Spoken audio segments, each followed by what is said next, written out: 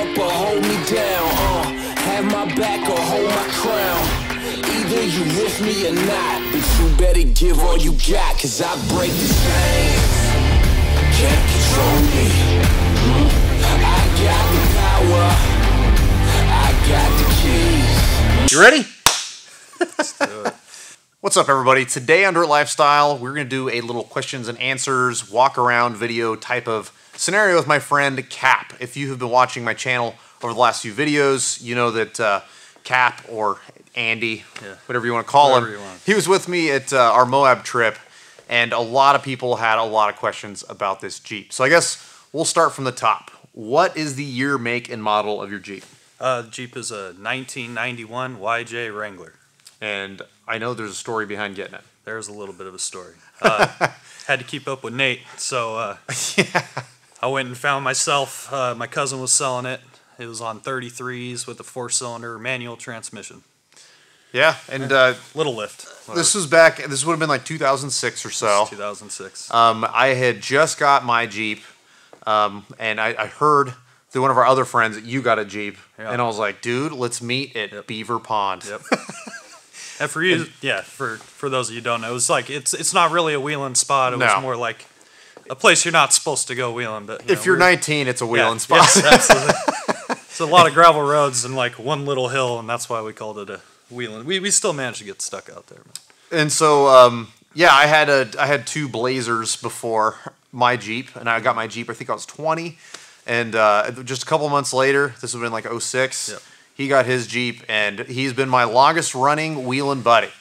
Been wheeling together for a long time. Yeah, a few breaks in there with my. A few breaks. He, he takes big breaks and completely reinvents the wheel with this thing. But this last iteration is the best iteration. Yeah, so it's working. The reason you guys haven't really seen it until like the last six months or so um, is because he just finished it from like the last big chunk of work, and now it is obviously it's the best that you have built it so far out of any iteration. Absolutely. Yeah, So far, it's working It, it's pretty much point and almost exactly the way that I wanted to. Yeah. Yeah. In fact, right here, I'll cut a little section, Yeah. and you can just see him pointing, shooting up some obstacle.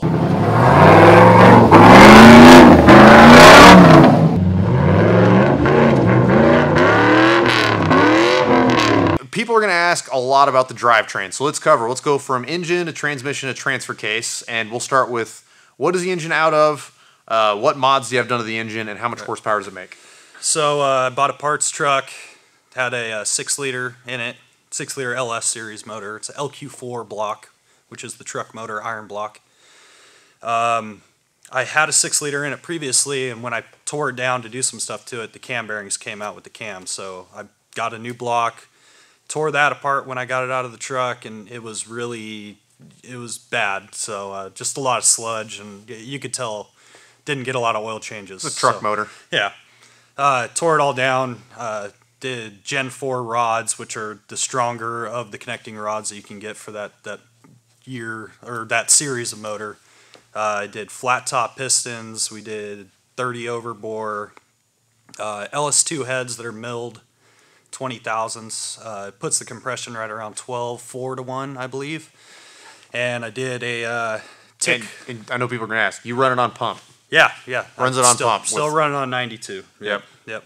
The cam is a Tick Performance Stage 2 Tomax cam or something like that. Um, Tow. not much of a tow cam. yeah, Tow if you tow it for four grand. we, we revved it to like uh, 63 on the dyno and it's still making power. So, It likes to sing, yeah. Yeah. and it sounds great when it does. yeah.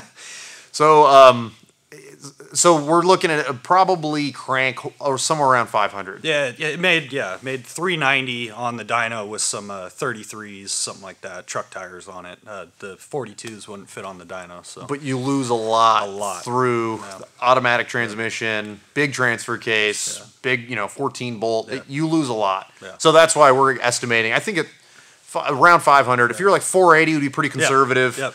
Um, I think, uh, and it shows. I mean, the thing scoots, no problem. Yeah. So then we go to the transmission. What transmission do you have? Transmission is a 4L80E. Uh, had it rebuilt. A uh, couple things done to it. Nothing, nothing too crazy. Just the you know the typical mods that people do when they have them apart. And then uh, it's got a stock converter, but in the 2500 HD HD trucks, which is what this came out of, they actually had a little bit higher stall. I think it's 2200 or something like that. People will correct me, I'm sure. It's a little bit higher. A little bit higher. A little bit higher So stall. it, it worked well with the cam. The It complements the combo cam works, Works decent. Yeah, for sure. Uh, transfer case is a uh, NP241, which is uh, it's a Chevy transfer case. It, it's a lot like the 231 that you'd see in your Jeep. Just has a six pinion planetary and an inch and a half chain. Bigger case. Yeah, a little bit stronger case. Yeah. So yeah, holds together pretty well. And uh, So like far. we've talked about before, they put that behind uh, Dodge Cummins for a little bit. Yeah. So I mean, it's a They strong can- case for Yep. sure. Yep. Two seven two to one uh, reduction, right? Yep, same as same as the 231. 231. Yeah, Yep. part. Yep. So and then uh, that feeds all that power to a front and rear axle. And what front and rear axles do you have? So I'm running the uh, Dana 60 Kingpin front high pinion Ford, uh, chromo shafts, 513 gears, and a Detroit locker. And then the rear is a 14 bolt that 513s with welded that's welded, and then I did my own little shave kit to it. It's not it's not as much as some of the ones you can buy, but it, it helped a lot. Well- it has more clearance in the rear than it does in the front now. In the when you did it, there wasn't like this. There's a lot more options for shave kits now. I think the TMR was the only one that was available when Yeah. I did it, and I, I was kind of cheap back then, so I just spent four and a half hours grinding the, the ring gear in the carrier, and yeah, making it making it work in your shop. try to learn how to do some arc welding, which I'm not super good at. So yeah. So rear's thirty. It's a thirty-five spline, fourteen bolt. The front, right? oh, 30 spline, Oh, it is a thirty spline. yeah, it's 30 spline. Oh, but it's yeah. that weird inch and a half, inch yeah, and a half shaft. Yeah, yeah. yeah, yeah. The stock stubs in the front are 30 spline, and you upgraded those to 35. 35 spline chromoly. Yeah. Chromoly. Yep. Uh, 'cause- After I broke one. yeah, Yeah. which didn't take long with this power. No. I mean, before you never broke a shaft. I Never did, and yeah, I've had the axle in it since. Uh, Man, I don't even know the year, 2010 or something like that. Maybe even as early as 08, man. yeah, it's been in there for a long time. Been in there for a long time. about six different motors, and but yeah. this one makes the most power for Yeah, sure. He's had a lot of Chevy V8s in there, but Yep. uh, I don't think the old 350 can keep up with No. a built 6.0. No, this one, this one sure. works pretty good. it works pretty good. And actually, having somebody tune it helps a lot. So Certainly. so um, you said you said the gears right, 513s. five thirteens, yep. Um, we covered axle shaft diameter, all that other stuff. So now I guess we could move out to tire size, uh, brand and wheel and all that stuff. Um, yeah. So tires, I'm running the 42 inch uh, PBR rockers, um, and then wheels are the Dirty Life uh, Roadkill 17 by eight and a half, nine and a half, nine, something like that. Something like that. Yeah. And I know that you've had. I'm not sure if I would say he's happy with them. I, I, I think on the yeah. outside looking in, they're doing awesome. Yeah, he, for- he doesn't have a traction Yeah. problem. for Pacific Northwest, they're a really great tire. They're just in, in the rocks, Moab, places like that. Um, they're just they got kind of a little too stiff of a sidewall. I'm still technically waiting for them to break in, but I think they're going to be bald before they, you know. So up here, it's nice to have a thick sidewall because trees and roots and stuff will just grab and just rip. That's kind of the trails. So he's got. There's always a trade-off. That's how it is in the automotive world. so he's got these thick sidewalls that are really durable, but when he he'll air down to like three, Yeah. and the sidewalls are so thick and stiff that he doesn't get hardly any tire bulge. But whenever he goes over obstacles, you'll mm. see it fold Yeah, instead side- of side yeah. and it'll try to fold It'll over on itself. try to that, that also has to do with the fact that I'm running 17 inch rim with a 42 inch tire. That's why True. some of those other brands That's go true. to a 20 inch. So you have more sidewall too, but That's true. yeah. But So it, it's it's a thick sidewall. It acts like a tire tire with a thick sidewall. Yeah. So I think on the outside looking in, I think he should be very happy with these tires. But he's like me. He's a perfectionist. He wants it to perform good in every scenario, and it's so hard to find a tire that does that. So I need tires for different scenarios.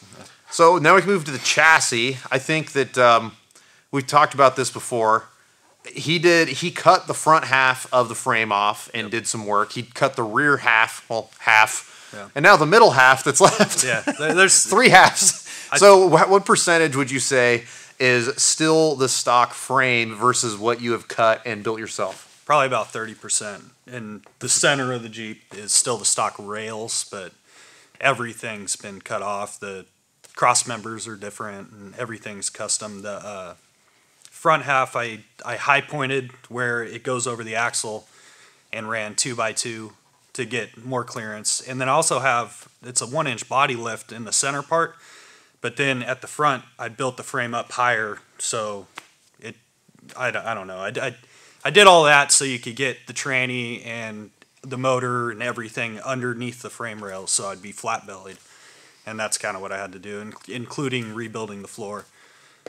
So for a lot of you guys that are watching that might might not know why you would cut the front chunk and the rear chunk off, whenever you stretch TJs and YJs, and this is a YJ, Yeah. um, it changes where like the little hump is, uh, where it, it basically an accommodation for your axle. And so since you stretch it, a lot of times people will bang, uh, you know, right into the, from their axle into their frame, or there's not enough space in there to put any suspension or whatever the Right, case may be. So you cut it in order to simplify it, make it tree you can stretch. And I, we should probably cover how stretched is it. Uh, it's a 108 wheelbase, so I think the I think the split's pretty even between front and back. I'm not exactly sure what the number is. Somewhere around seven and seven, I think. Stock it was 93. 93, so he stretched it to 108. So Yeah, big yeah, stretch. yeah. Real big stretch. Yeah, but it still works decent around here because we we have a lot of tight radius type of stuff. So Yeah. you go much longer than that, and then you're really Definitely. five point turn and some stuff. Like a four door JK, like 117 ish. and uh, it would be, you could get through the busy wild Yeah. with it, but just- you would destroy it. It takes longer. Uh, It- yeah, yeah. You would be destroying doors and all yeah, you kinds of spend more time trying not to hit stuff than actually Totally. having fun. And you get hung up on your belly, whereas this is, I would say this is like as long Yeah. as you get and comfortably get Yeah. through without turning your rig into a raisin. Kind of. So, yeah. And the look, I, I like the look. I mean, when, Yeah. you, when you start getting into the 115, the rear axle's so far back that it's just. It looks it's like it's not make it under the vehicle yeah, anymore. yeah, just- it's hard to make it look Totally. Cool. I, I don't unless you back half it, then it. Yeah, I think it looks awesome, and he's got it real nice and low, which makes it look kind of like a has like this muscle car look kind of stance to it. I mean, it's definitely a pretty sweet build. So, um, I guess what else should we cover? We covered horsepower. We covered wheelbase. Do you know how wide it is? What's the I wheel? don't, I don't know the track width. Uh, I know it's a little bit wider than yours. Yeah, and I I'm at to- like 81, 82 ish. So you're probably 84 ish. yeah. I mean, I had to rebuild the trailer to fit it on there. yeah, so it's pretty wide. Yeah. Um, We could do links. Uh, the suspension. oh yeah, suspension. We should definitely talk about the suspension.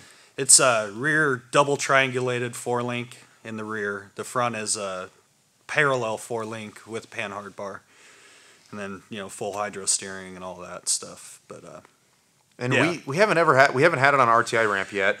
no, I mean it's not I, it's not a super crazy flex monster. I have it limited. Uh, I kind of like the stability of it. Um, I have the rear kind of set up to give me to attempt to stay square with the chassis. That gives me a little bit of stability and some stuff. But yeah, I mean it flexes really well. It's just not. It's not. You know. I don't not- think it's going to be winning any competition. Yeah. It's on 14 inch keys. Mine's the same way. I used to, I used to think flex was all, Yeah. but once I built a few of these, I realized that Yeah. it's not near as important as I Yeah, thwant. yeah. You need you some. Want, you want and you want weight on You the want tires. some, and you want yeah yeah So- totally. As long as I have three on the ground, it'll usually go forward. So So I guess here we would go. F- what are the future modifications? What things would you change? You just you had it down for a few years. You've had it for like six months now, and now you're taking it to Moab. Well, that's So- one of the one of the big problems with building something over a year is you change your mind a lot while you're building it, and I don't know. There's pluses and minuses to that. It, it costs a lot of money when you do that, but uh, I was able to change some stuff in the process of building the Jeep, which took longer but made me happier with it. Yeah.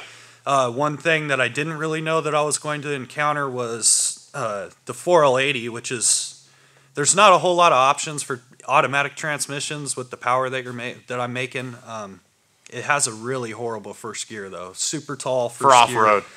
Killer Yeah. for the track though. Yeah, it yeah, would be, it'd be yeah, great if you were building the truck for Yeah. quarter mile Yep, times, Yep, uh, but it's not very low. No. Do you remember what it is? I think it's Three- like 248. Oh, yeah, that's right. It's something It's crazy, crazy. And, and just for reference, the the 6L90, which is the six speed, which would be a maybe an option, is like 403. yeah. So it, And it's with my Jeep, it's a manual. First gear is a four to one. yeah. So like uh, for a six speed, the first gear to be four to one would be awesome. I mean that for off road, that that would be perfect for this. Yeah. But he'd have to reinvent the wheel Yeah. in order to get it in there. I mean, yeah, the the floor, the seat bars is every everything's built like with one inch less than one inch clearance for this transmission, and It's all built to work together. yeah, it's just there's not So yeah. so as far as future mods go, the transmission is a question mark. Yeah. You want to keep this because it makes sense because it's Yeah. already made it to the Jeep. Yep. But you also wish you had a lower first gear. Yep. Yeah, and I mean you can buy first gear, but it's it think it brings you up to like a two two ninety, and it's like fifteen hundred dollars a gear or something like that. So it's And so the other option would be lower T case. Yep. But then that what sucks is that where your T case is set up now is kind of perfect for some stuff. Yep. So four speed would be an option, an Atlas or something like that. But But I think that you'd be breaking it. yeah, and that's So- I, I don't know. My question for you guys, and put this in the comments. Yeah. Does somebody make like a crawl box or something that would go in front of his transfer case uh, that would give him an extra reduction, so like a two to one reduction or something like that, that could handle the kind of power he's making, um, and also not be a mile long? Like, is, is- does somebody make something? Because I know there's a lot of really small companies out there that will just machine random stuff like this. So if you know of something that's going to help him out to make it to where uh, he has the option to go lower on the Rocky stuff, Yeah. then please put that in the comments because you'd really be helping us out. But aside from that, I mean, you seem pretty happy with the rest of it. Yeah, It- I mean, I it wanna- goes and stops great. I want to change some aesthetics. I'm not 100% complete with it. I still don't have a heater Oh, or yeah. windshield wipers. Windshield wipers, and he lives in very- Washington. Very fun on Pritchett Canyon. Yeah, it rained on Pritchett Yeah. Canyon, and he didn't have Six wipers. inches a year down there, and we, we got at least one inch of it. Yeah, so, for sure. you know, it just sometimes it works out that way. Um, some aesthetics, like I said, just still with the four link and the coilovers and bump stops. There's a lot of fine tuning kind of stuff, and It, I- never, I- it never stops. I go to the dunes and I, you know, do rocks and every every terrain needs a different setup. So yeah, so trying to make a, it's so hard to make a Swiss Army Yep, knife of four by people have multiple rigs. It, so like me, that's why I keep building different stuff because. It might almost be cheaper at this point. yeah. so, So if you guys have any questions for Andy, something that we didn't uh, cover, like just some sort of a technical specification, whatever, or even just curious what fuel pump he used or whatever, uh, put that in the comments below, and he, I'm sure he'll be happy to go through and answer whatever questions you might have. So now I'm gonna do. I- I'm not sure how to do walk around videos yet. So this is just an experiment. We're doing an interview, and then after this, I want to do like a little cinematic thing, just a bunch of cool footage that I've got of him uh, out just beating on this thing, and we'll put it to music, and we'll make this the end of the video. So if you enjoyed it, like, subscribe, all that stuff. Follow Andy. He's got an Instagram at uh, Andy underscore Kapps. Andy underscore Kapps, and as that's usual, K A P P S. K A P P S. Yeah. And as usual, I'm at Dirt Lifestyle Nate. We'll see you next time.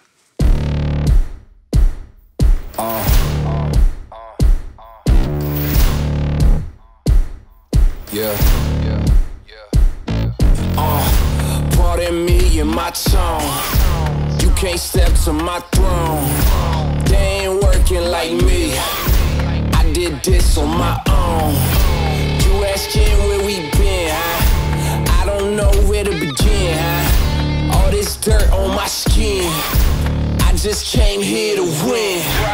It's not a game, why you playing with me? You could double back, lose track, try and hang with me.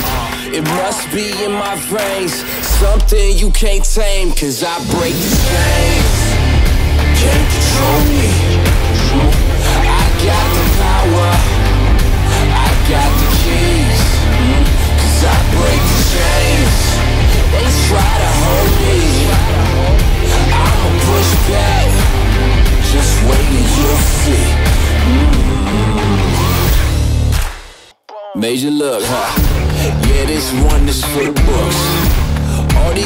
chances I took still. I move straight on these rooks now. Hold me up or hold me down, uh. Have my back or hold my crown. Either you with me or not, but you better give all you got, cause I break the chains. Can't control me. Mm. I got the power. I got the keys. Mm. Cause I break the chains.